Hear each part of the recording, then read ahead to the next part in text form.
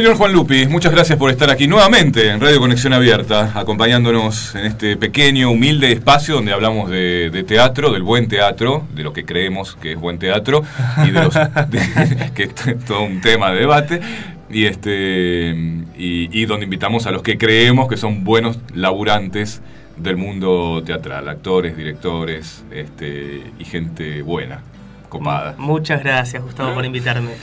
Bueno, gracias por venir, no, en serio. Y, además estás, bueno, queríamos charlar con vos, este, sobre todo porque pues, estás haciendo un montón de cosas. Tenemos varias cosas de las que hablar, sí. Em, La última vez habías estado con Alejandro Magariños aquí.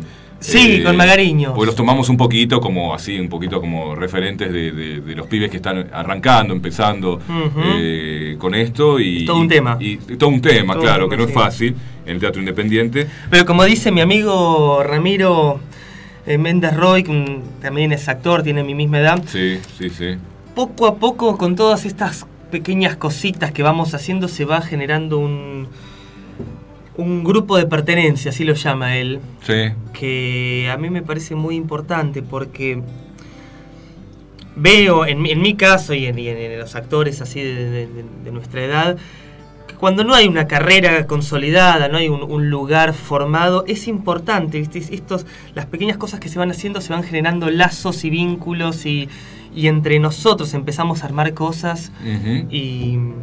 Sí, generar uno mismo eh, eh, eh, los espacios, la iniciativa, ¿no? Este, agruparse y, y, este, y generar cosas, generar ideas. Todo empieza por una buena idea todo empieza por una buena idea. Claro, y este, bueno, de hecho Isla Mauricio es una actriz, la que creo, tengo entendido así, compró los derechos y se la llevó luego al director. O sea, no partió desde el director. No, no, este partió desde... O sea, muchas veces son los mismos actores que proponen. Sí, Carolina Darman, se estaba estudiando teatro en Nueva York, y también muy hastiada con, con, con eh, lo tedioso y las miles de complicaciones que hay para hacer teatro acá en Buenos Aires sin que te llamen, no, no, no es que te llamen y te digan, che, te doy laburo, vení, sino que, bueno, una actriz que, estaba, tenía muchas ganas de hacer teatro, de volver a hacer teatro, y estaba estudiando en Nueva York y conoció esta obra, y dijo, yo esta la puedo hacer en Buenos Aires.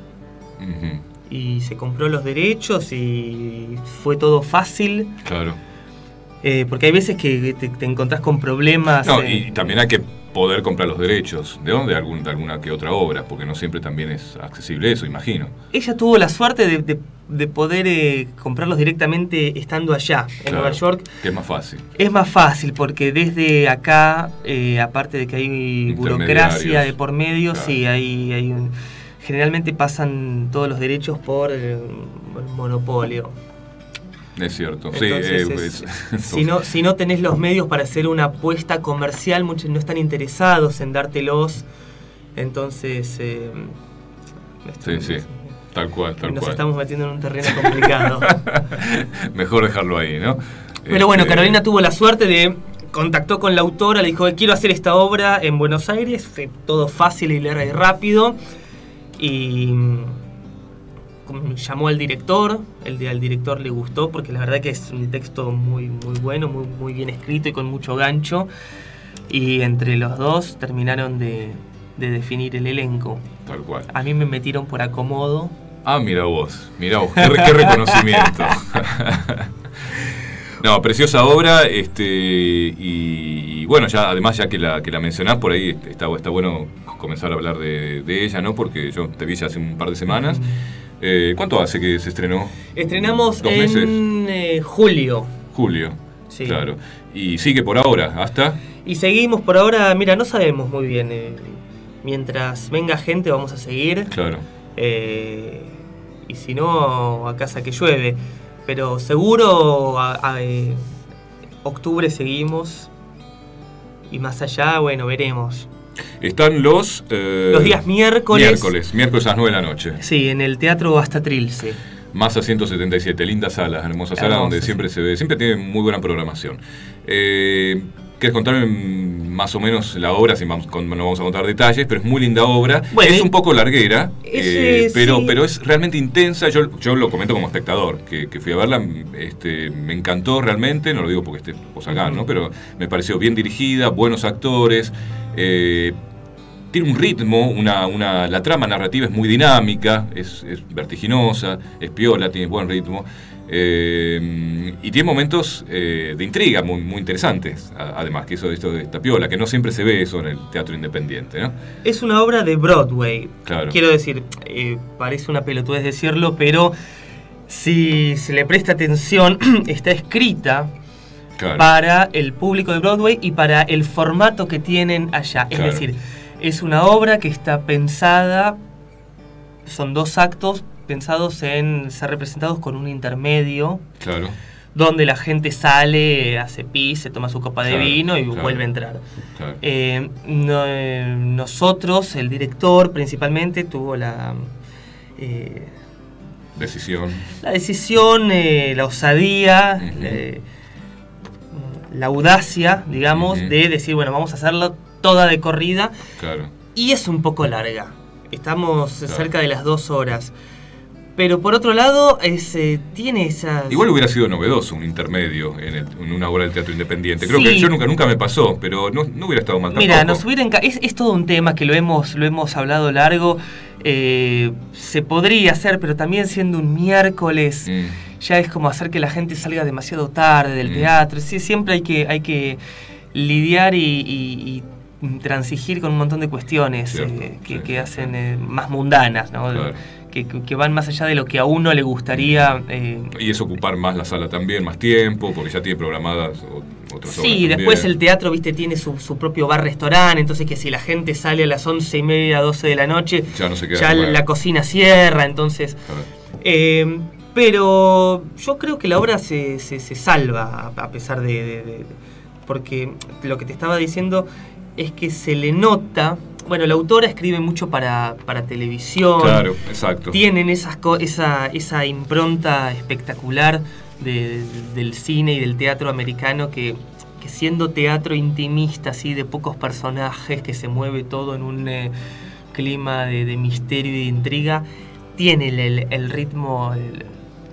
yo, le, yo, le, digo el chimpam del, de la escena que entra y cambia de ritmo y que cuando todo parece que se termina entra un personaje y se da vuelta. es, eh, es eh, realmente efectivo. Tal cual. y esa es la escuela americana. Acá yo recuerdo que se había hecho, no es la primera, es la segunda, creo, obra de ella que se. Bueno, eh, la primera había sido en el teatro comercial, esta es la primera en el teatro independiente. Los elegidos. Los elegidos. El, nombre original es seminario, seminar. Este, acá le pusieron los elegidos.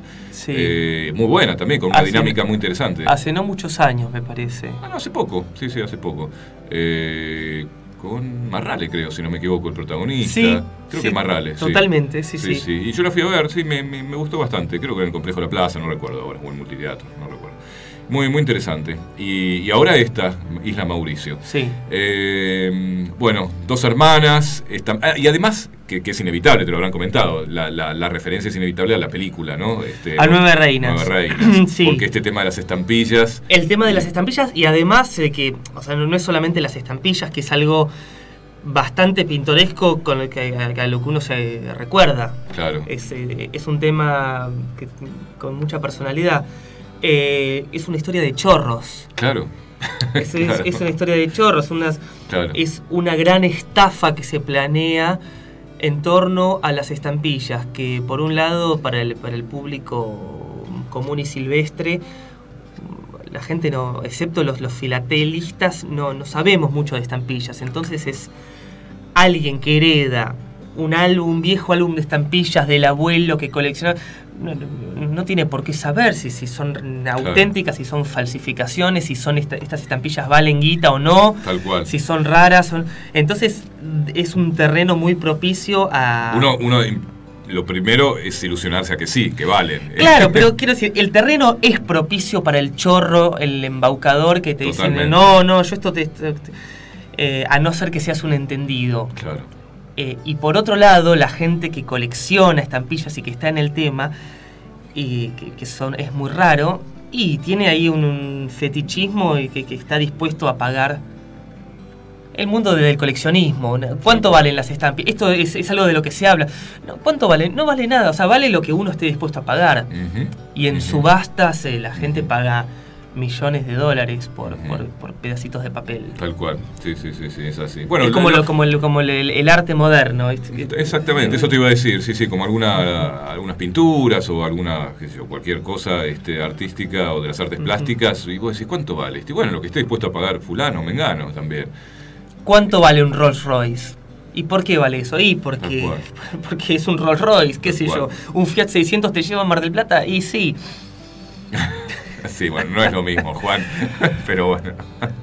Bueno. Este, o depende también quién lo haya usado, que esa es otra cosa, que ese es un plus también que tiene algunas cosas. Este, pues yo siempre digo, eh, hay bienes que son fungibles y vos decís, bueno, es lo mismo uno que otro, pero depende quién lo haya tenido en sus manos, quién lo haya usado, como determinada ropa. Eh, ¿no? Los libros son fungibles, por ejemplo, como el dinero, pero no es lo mismo un libro que otro. Si yo tengo, no sé, el Aleph firmado por Borges, no es lo mismo que tener un Aleph comprado ahora en la esquina, ¿me entendés? Claro, pero es el mismo libro. El valor de, valor de las cosas eh, depende de, Es un acto de fe. Tal cual. Bueno, y, se pelean estas dos hermanas que son protagonistas en Isla Mauricio. Sí, este, hay, em, son medio hermanas. Son medio hermanas. Son medio hermanas. Eh, acaban de superar la, muerte de la madre, que es el único vínculo entre las dos, porque prácticamente no se han conocido a lo largo de su vida. Y entre, bueno, digamos, la resaca de la tempestad de, lo que ha sido esa, pérdida, entre un montón de deudas y problemas eh, emocionales y financieros, heredan hereda esta chica un álbum de estampillas. Y lo lleva a un negocio a ver si, si puede sacar algo de dinero por ello. En el negocio está el, viejo que sabe mucho de estampillas, que la ningunea, la, dice, no, está podrido de que caigan pendejos que no tienen la más puta idea de qué es. A ver, cómpreme mis estampillas, sálveme. Y yo soy un pibe que labura ahí, que estoy a, la pesquisa de algo que pueda aparecer y veo esta nena que entra y digo, bueno, a ver, voy a ver lo que te... entonces tengo la suerte de, darle una oportunidad eh, porque estoy al pedo, porque hay algo, un, rayo de intuición que... Y abro el álbum y encuentro estas dos estampillas de Isla Mauricio que son muy, muy eh, raras. Como, como unas, las primeras estampillas en ser... Eh, y aprovechando la situación, aprovechando que la chica no sabe lo que tiene en la mano, aprovechando que el viejo no las vio, rápidamente se me ocurre hacer una gran estafa. Conseguir un tipo que se las compre, eh, ilusionarla a esta chica con un pequeño monto de dinero delante de sus ojos. Sí, cierto juego de seducción que hay ahí también. Claro, pero a lo largo de, que, de, la, charla y de la negociación hay algo que empieza a aparecer entre estos dos personajes. Entre la pobre víctima a la cual le vamos a chorear las estampillas y yo que bueno, que soy un que estoy intentando arrebatarle las estampillas, Salvarte también. Salvarme a mí, cada uno tira agua para su molino. Claro. Eh, a, todo esto la chica se entera de que las estampillas que tiene son muy valiosas, entonces no se va a dejar eh, ser robada por tan poca plata. A todo esto aparece la hermana que reclama el álbum de estampillas porque dice este álbum era de mi abuelo, no del tuyo, aunque nuestra mamá te los haya dado a vos. Eh, y cada uno, viste, cuando hay dinero por medio, la gente se pone muy nerviosa y todos empiezan a desconfiar. Entonces, cada uno tira de su punta y el muñeco se desgarra. Tal cual, tal cual, eso te iba a decir, ¿no? Como el, tema del dinero eh, empieza tan fácilmente a corromper a, cualquiera, más allá de los lazos familiares, afectivos, amorosos que, haya, ¿no? Como pasa en... Ver, no descubrimos América con esto, ¿no? Pasa siempre, permanentemente. Eh, pero igualmente me da la impresión que más allá de, todo eso, eh, también de alguna manera las estampillas son, como decías vos antes, que es como una metáfora ¿no? de las cosas. Símbolo, es un símbolo que, en realidad las cosas tienen el valor que uno les da, de que depende de quién las mire, cómo las mires. Exactamente, de eso se habla en la obra. Eh, para mí es, una historia de, de, ambición, de amor, de poder. Y bueno, las estampillas ahí es como la excusa que ha encontrado de una forma bastante inteligente la autora para, hablar, bueno, este, de, la condición humana. Exactamente. Porque, porque, porque hay amor, ahí está el, vínculo familiar, está la lealtad que le tiene el, el, chico este que está organizando, que el, que hago, el papel que hago yo, ¿no? el, que, el que organiza toda la tramoya con el, viejo que trabaja en, en, el negocio de estampillas, que ha sido su mentor, ha sido el que le enseñó todo lo que sabe de estampillas y cómo cuando aparece un, es como su padre. Claro. No es el padre, pero es, es, es su padre. Y, cuando aparece dinero, todo el mundo ya empieza a, mirarse el ombligo y a ver qué, qué porción de la torta puede cortar. Claro. ¿Hay alguno que sea más honesto que otro? Pues parece, parecería que sí. Según cómo te identifiques. Viste que uno siempre tiende a, irse para el lado del personaje más vulnerable, tanto en cine como en teatro, el, más perdedor, tal vez, el más eh, frágil o el más mm. el que parece más este, honorable. Eh, aquí nadie lo es, pero eh, parece como que el viejo en algún momento sí. Parece como es el fracasado, el perdedor, el que tiene cierto dolor que no manifiesta. Eso también se habla un poquito en la obra de esta cosa de que lo que le pasó, que le pasó, que no, se termina manifestando. Mira, él, es un él es una de las personas probablemente... Me refiero al dueño del, negocio. Sí, un erudito que será la persona que más sabe de estampillas en el país o, probablemente en el mundo, que... Em, por, un problema personal que tuvo con, el otro, que es el que, el, que, el que ha hecho guita y le ha ido bien, que es un tipo sin escrúpulos. Exacto. Este tipo, el, este, el viejo, por haber tenido ciertos valores o por haber tenido cierta mirada romántica sobre el asunto, y se quedó en, sin dar el paso, el paso del éxito. Hay que tener en cuenta que es una obra americana. Eh, parece una pelotudez decirlo, pero. Eh, yo, igualmente veo en las películas americanas y en, las historias americanas, en los libros, que el tema del dinero y el éxito es, muy importante. la, imagen. A ver, quizás nosotros acá en la Argentina tenemos eh, la, imagen del, del tipo respetado, que no ha hecho dinero, pero que pero sabio, que... No, ahí, viste, si, si te hiciste guita, te fue bien. Y si no, no existís. No tener dinero es eh, el peor pecado que puede existir. Entonces, esta es una imagen de otra época, el, viejo. El tipo que, que, por tener valores, que, porque por tener un, un, vínculo afectivo con es algo que defiende, no le ha ido bien. Y el otro es un, un, hombre inescrupuloso. Eso es una cuestión cultural, ¿no? Porque acá sacaste ese tema justamente. Acá el que tiene éxito o tiene mucha guita, se lo ve mal de alguna manera. Eh, y allá, al contrario, te refuerza la identidad. Acá en el teatro existe el, actor de teatro consagrado, muy respetado y muy querido por los colegas, y, pero que, no, viste, que nunca ha protagonizado, que no, no se ha hecho popular, que no ha hecho televisión. Y me parece que, que viste, allá es, es un más, que no sé cómo decirlo. Eh, Y en eh, a lo que íbamos, todos los personajes quieren lo suyo. Y todos quieren la plata. El que va a comprar las estampillas quiere las estampillas y, le va a dar menos dinero de lo que valen porque quiere las estampillas por lo que valen.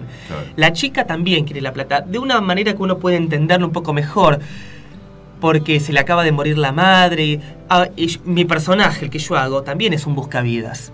Es un pibito. Ahora, la diferencia es que eh, yo quiero la plata. A ver, no es un chico pobre que la necesita, que es un chico que quiere la plata porque por, ambición, ¿cierto? Porque es lo que, lo que ha aprendido, porque es lo que la sociedad le, enseñó. Tal cual. que si querés tiene de referencia a estos dos, uno como el el mafioso que hace guita sin importarle muy bien de, qué, de qué manera, y el otro que es pudiendo estar haciendo catálogos en Londres se eh, vive en un, en un negocio de mala muerte y con esas dos referencias el, chico quiere hacer plata y, no sabe muy bien cómo, porque, porque es lo que sabe hacer, porque es lo que, lo que la sociedad le enseña y cuando ve a esta chica, que acá es donde el punto en el que se enganchan, la chica no es un trigo limpio, la chica también quiere plata pero quiere plata para liberarse del pasado. Exactamente. Para olvidar la vida de mierda que tuvo y poder conocer el mar y poder eh, no tener que preocuparse de, sus problemas.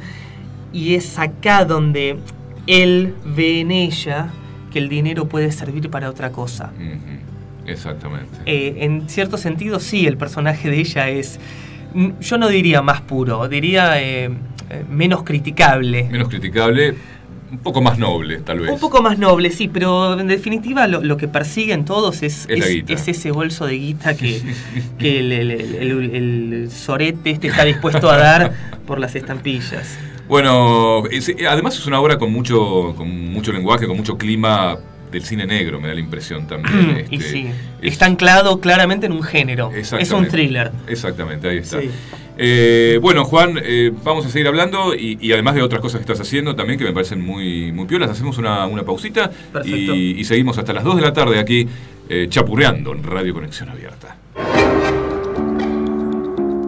Inaugurado en 1894, Los 36 Villares es uno de los bares más tradicionales de Buenos Aires y uno de los centros de billar más importantes del mundo. Muchas historias y celebridades pasaron por sus mesas. Por eso, Los 36 Villares habita en el corazón de miles de porteños y turistas que comparten sus sueños. Los 36 Villares, emblemático café notable de Buenos Aires, fue restaurado y reabrió sus puertas en Avenida de Mayo 1271. Ahora también con exquisitas pizzas y empanadas, una amplia carta, siempre renovada. Para delivery, llámanos al 422 1500.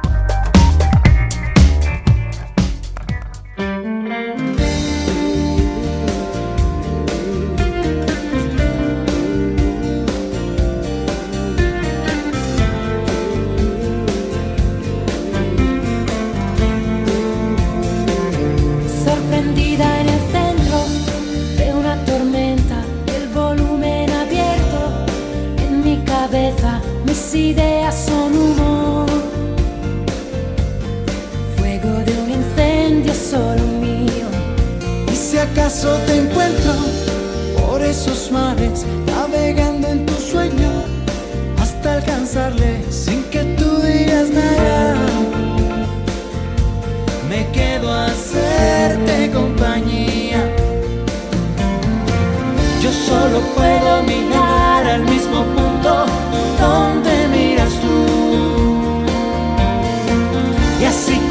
a pensar que ya he vencido, convenciéndote de que eres grande.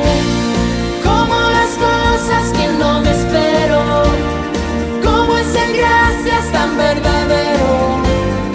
como el sincero abrazo que me das si nada cambió como el perfume de una sorpresa.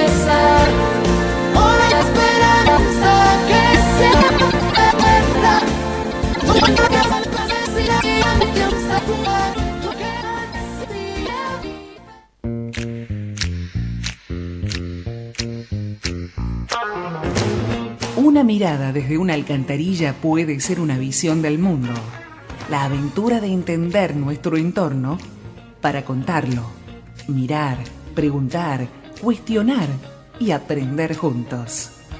Seguimos chapurreando, como todos los viernes, en Radio Conexión Abierta, con Gustavo Chapur.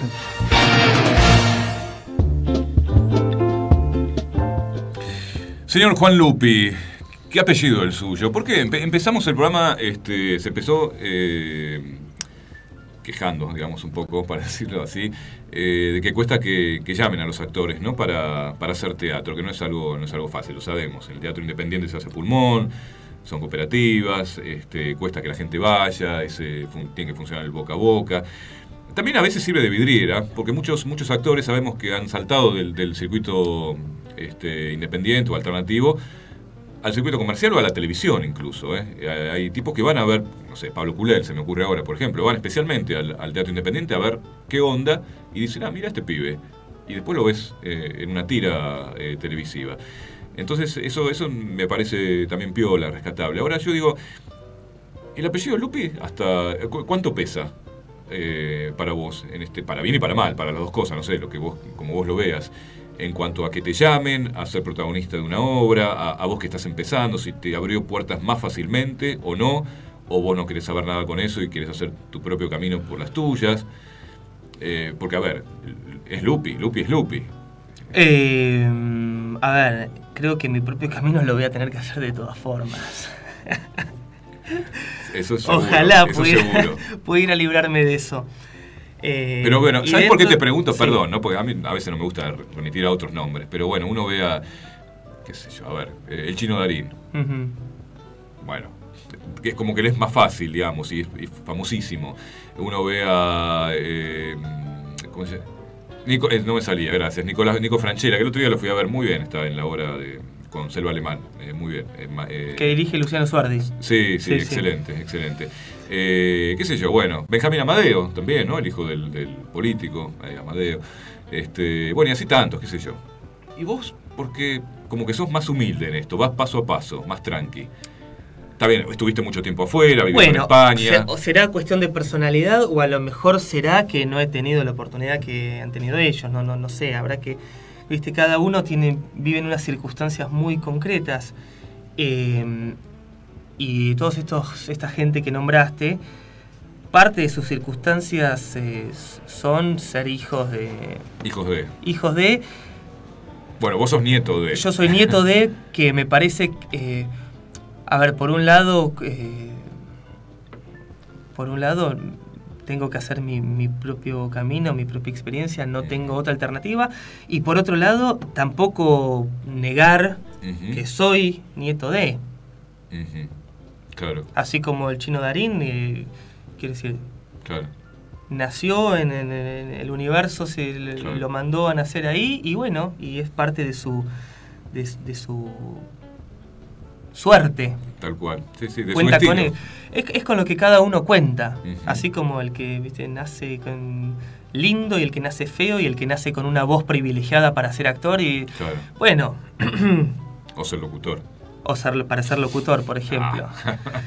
Eh, quiero los, locutores somos un poco actores a veces. Quiero decir, eh, es un tema eh, en el cual yo he pensado mucho, porque en cuanto, cuando, empecé a actuar ha sido un, gran tema en mi vida. Pero vos empezaste con el tema de la actuación, ¿por referencia a tu abuelo o porque te gustó, digamos, algo debe haber de eso? A ver, mi abuelo, mi abuelo es una... en cine y en teatro y dijiste, bueno, mira, a ver algo, te despertó ahí, supongo. Tiene algo que ver, ¿no? ¿no? puede ser una cosa totalmente aislada, a eso me refiero. Mi abuelo es una, es una figura em, bastante notable en mi familia, pero yo vengo de una familia de actores en general, no, no solo por mi abuelo.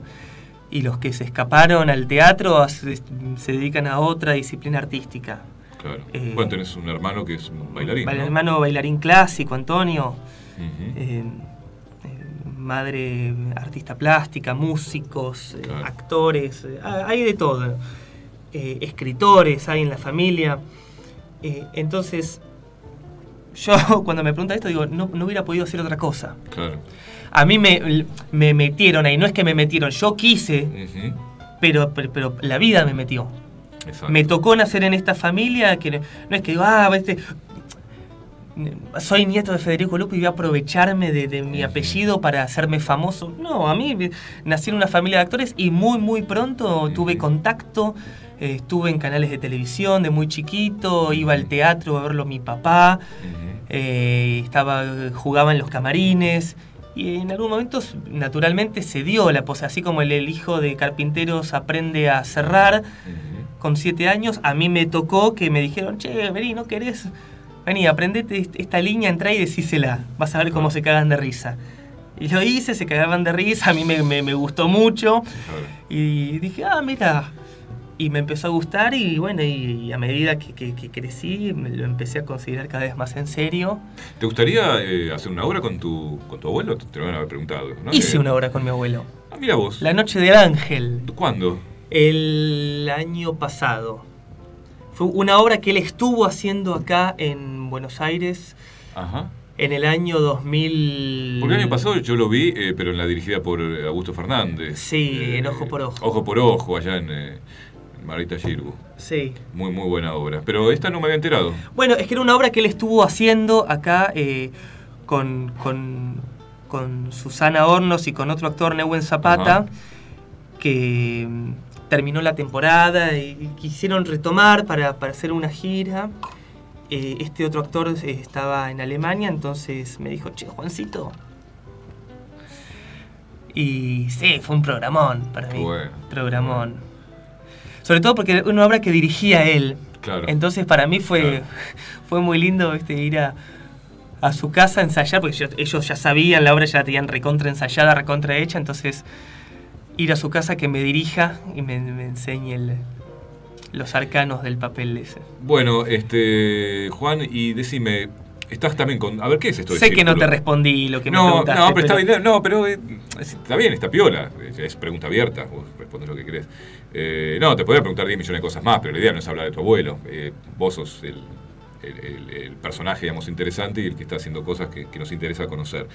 Eh, Algún día me gustaría charlar también con abuelo por teléfono, pues una estrella no va a venir acá, pero aunque sea una nota por teléfono, porque además es figura, es, historia, digamos, del cine y el teatro argentino, más allá de que a uno le guste más o le guste menos, hay figuras que son indiscutibles, son historia ¿no? nuestra. Eh, ¿Qué círculos? Círculos es una miniserie que mm, estoy protagonizando junto a Victorio Alessandro, a Hugo Arana, eh, Lidia Catalano y Paula Sartor. Em, es una historia acerca de un abuelo que empieza a entablar relación con su nieta de 20 años que prácticamente no la conoció nunca. Em, se empiezan a conocer y haciendo un paralelismo con todos los problemas que tiene eh, la nieta con 20 años, con la, crisis eh, sentimental, vocacional, hormonal, todo lo que le está ocurriendo a ella, el abuelo le empieza a contar la historia de cuando él tenía 20 años y llegó de Uruguay a vivir a Buenos Aires. Em, entonces toda la, historia está contada un poco el abuelo con la nieta, otro poco la historia del abuelo de joven. Yo soy el abuelo de joven. Ah, mira vos. Em, ¿Y, cuándo em, se podrá ver? Muy pronto en, la televisión. ¿Sabes por dónde ya? ¿O todavía ah, sospecho que por Canal 2, pero es información e, extraoficial. Ajá. Eh, dirigida por Alberto Lecky. Alberto Lecky, sí. Mira, hace un segundo me estabas contando, sí, Alberto Lecky laburó muchísimas películas de, de, Fernando Ayala con mi abuelo. Y me pasa algo, algo que, que me pasa mucho esto, ¿no? Que haciendo mi propio camino, como decías antes, viste, voy, bueno, qué sé yo. Ay, me dice, pues yo, sabes que yo laburé mucho con tu abuelo y me cuentan anécdotas y me cuentan, eh, viste, sí, Alberto Lecky. Eh, yo lo admiro mucho. Se, aprende laburando sí, sí, sí. con él. Eh, y esto de las palomas y las bombas, el unitario... Las palomas y las bombas es otro unitario que estoy grabando ahora mismo estos días. Eh, de corte histórico-político sobre eh, la Revolución Libertadora. El bombardeo en la Plaza de Mayo y el Palacio Presidencial y el Ministerio. En el año 55. Hago un personaje ahí menor al de Círculos, pero bastante pintoresco esos personajes a los actores nos gusta mucho. Hacer algo de Máximo Rivera Kelly, el, piloto, que eran pendejos, tenían mi edad. Eh, el piloto que, bombardea la Plaza de Mayo y el Palacio. Claro. Bueno, que una, es una, mirada, digamos, particular sobre la historia argentina. No sé desde qué lugar lo hará, eh, no, tengo idea este, cómo, cómo están rodando. ¿Quién la dirige? Eh, Maximiliano González. Ajá. Eh, que es una mirada crítica sobre determinados hechos políticos, este, o se centra en una historia familiar, personal, de amor? No, eh, bueno, el hilo conductor es, eh, es eh, sí, una, una, digamos, vamos a llamarlo pareja. Sí. A lo largo de la historia van y va y viene la relación que está haciendo una investigación sobre aquellos hechos. Entonces, bueno, no, no, toma partido, pero intenta meterse un poco en la complejidad del hecho, en la complejidad de... Me gusta el aire.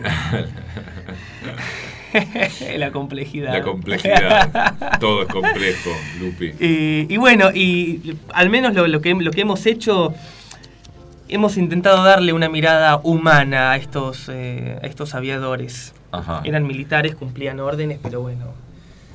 Eh, sí, la obediencia de vida no siempre este, no justifica todo. No, claro que no justifica, ¿no? Hay, hay que ser, eh, hay que ser eh, crítico, pero, pero como actor no podés hacer eso. Como actor, del ombligo para adentro, todos los personajes son seres humanos. Entonces, y eso, es, eso para mí es lo, interesante. Claro, claro, claro. Hay que, hay que meterse en la cabeza de, de, ese pibe que, de 25 años que...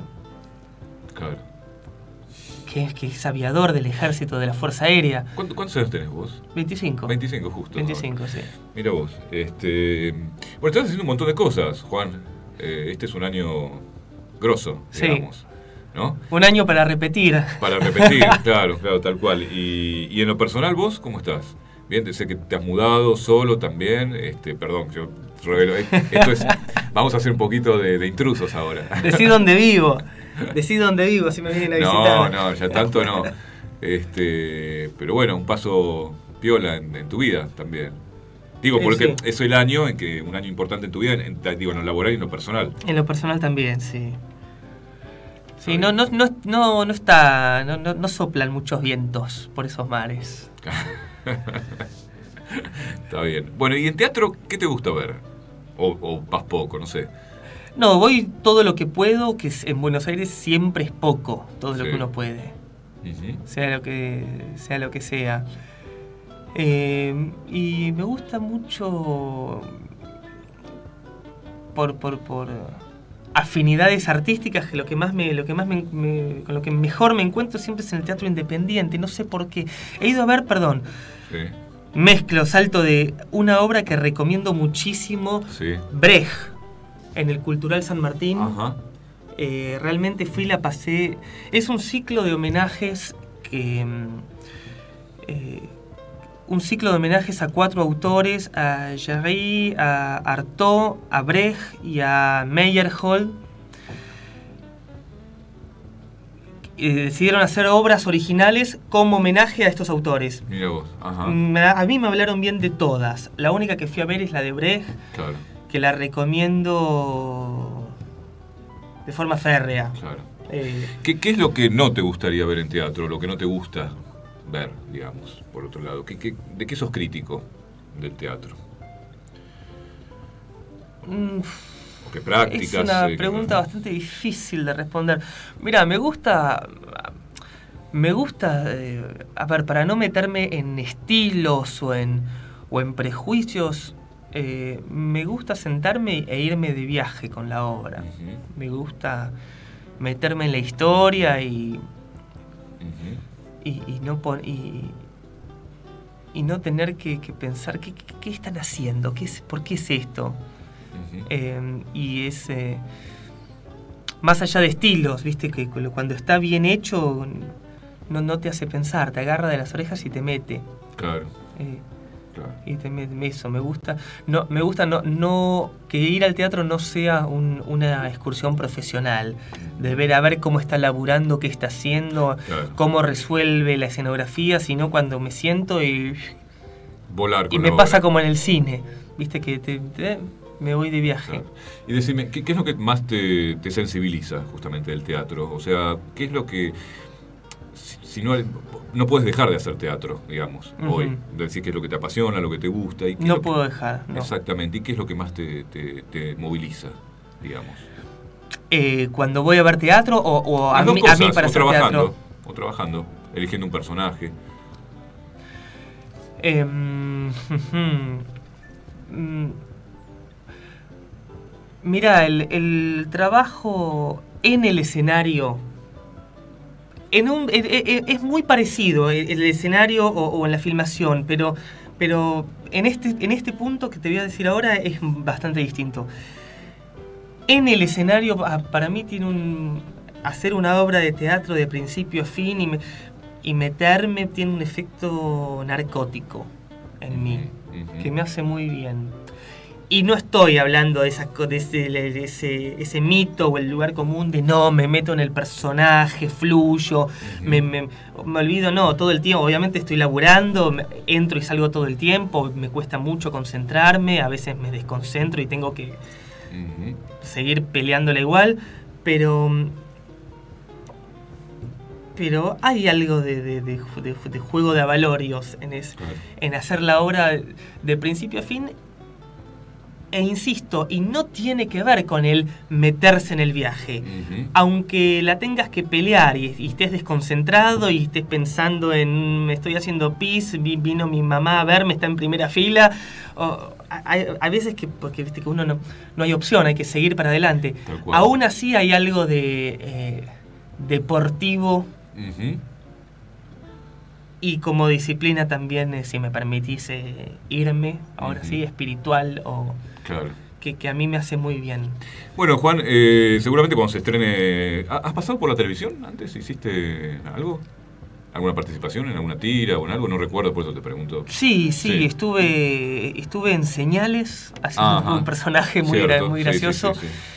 Eh, Pero digamos, tu, tu, tu, presencia fuerte ahora va a ser como protagonista eh, en Círculos, digamos, y, Sí, desde, que una miniserie este, que todavía, bueno, aparentemente se va a estrenar en, en, Canal América. Es el, el, primer papel eh, protagónico que hago en la televisión, esto, Círculos. Bueno, eso ya implica pasar a, jugar en primera A, digamos. A partir del mes que viene soy más caro para todos los productores. Exactamente. Ya no vas a venir acá, sino que va a haber que eh, llamarte por teléfono. Me mandas un taxi o algo sí, así. ahí está, exactamente.